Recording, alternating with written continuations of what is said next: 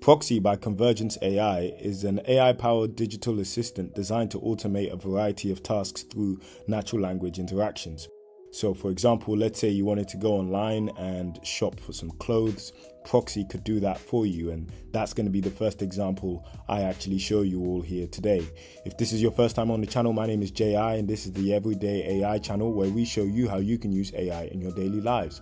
I'm really excited to dive into Proxy by Convergence. I think this is a really cool AI assistant, and I think it's got a lot of scope for a lot of adoption as well. So let's say, for example, I wanted to go onto the Nike website and find a pair of trainers for less than a hundred pounds, right? A fairly simple request that wouldn't necessarily take too long to actually do manually, but this is the prompt I want to use to show you just how simple it can be to use this platform. I'm also going to check if they have my size, also check if they've got my size. I'm a size, let's say 10 UK.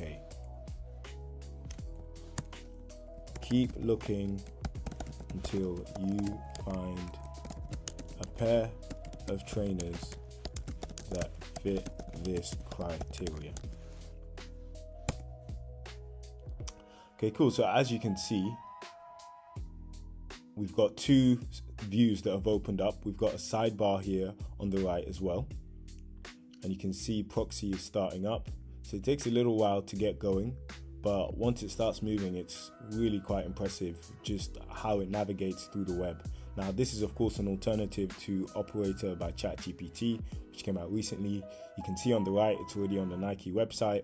And as you can see here, we've got its thought process. So it says navigate to trainer section. I'll go to the men's section to find trainers under a hundred pounds.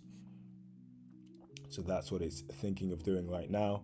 Okay, cool. So it's navigated to the men's section. You can also scroll down and see how it's doing and see the entire screen that it's also looking at. As you can see here, it's navigating to the trainer section. It can see a bunch of trainers. You can see some are over a hundred pounds, some are under a hundred pounds. Let's see what it's going to do from here.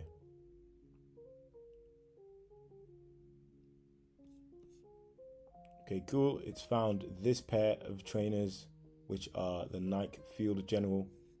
And as you can see, it says here the task has been completed. So it's found these Nike Field General trainers. They are £100, 89.99. And as you can see, the size I asked for is also there.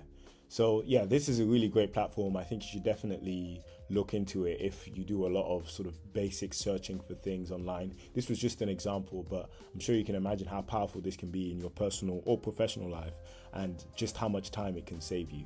If we go on to their billing section, we can see here, similar to ChatGPT, they've got a $20 a month subscription, which gives you unlimited sessions and use anytime. And you can also build up to 20 custom automations.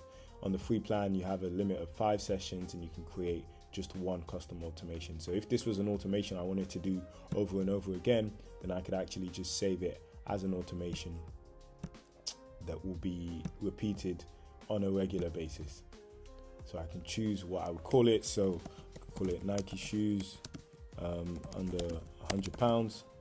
Let's say it starts from tomorrow and it will start at let's say 9 a.m. every day and let's set it to this time zone and then I can create this automation and it will essentially be scheduled to run for this time.